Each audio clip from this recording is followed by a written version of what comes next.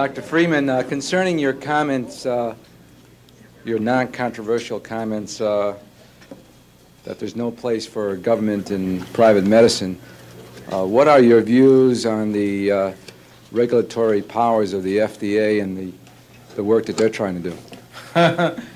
well, uh, you have a great many heart specialists in this room, I think, or some.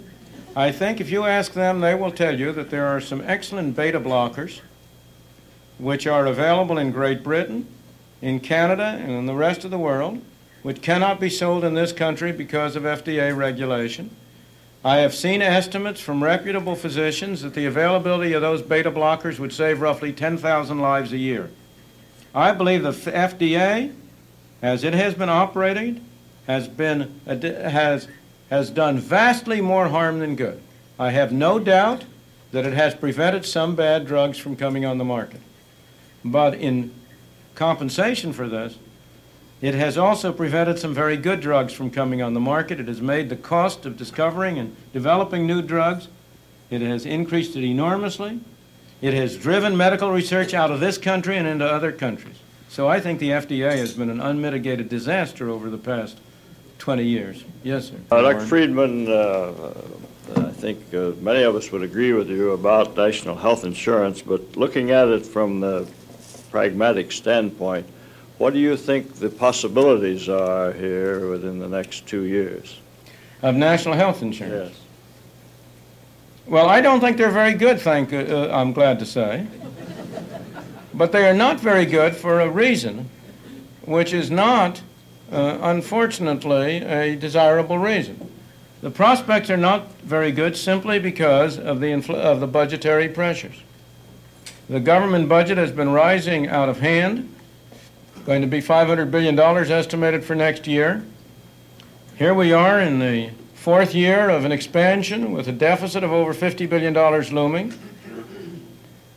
The various national health insurance plans that have been proposed would involve very large expenditures 30, 40, 50, 60, 70 billion dollars. You can get any number you want.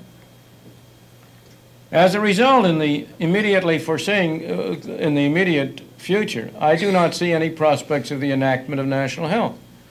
Moreover, there is no, in my opinion, there is no widespread public pressure for national health. You know, people are always saying we, government does these things because of an overwhelming public demand. Nonsense. The demand has to be drummed up and developed the way in which Madison Avenue develops a campaign for a new toothpaste.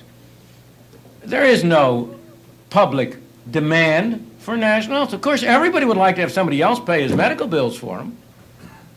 But people aren't that foolish, and they recognize that if you have a national health system, they are one way or another going to have to pay the bills.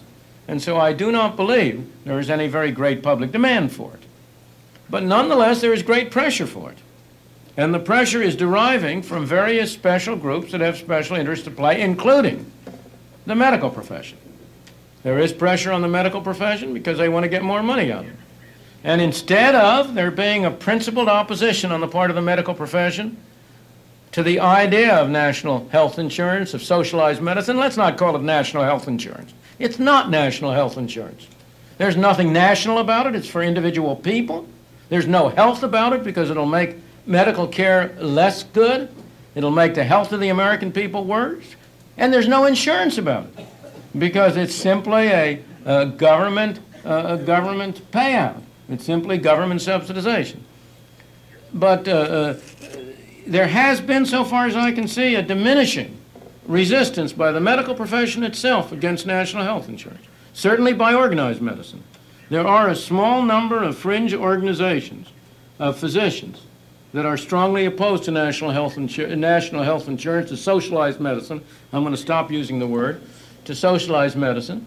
And they have been producing material and so on.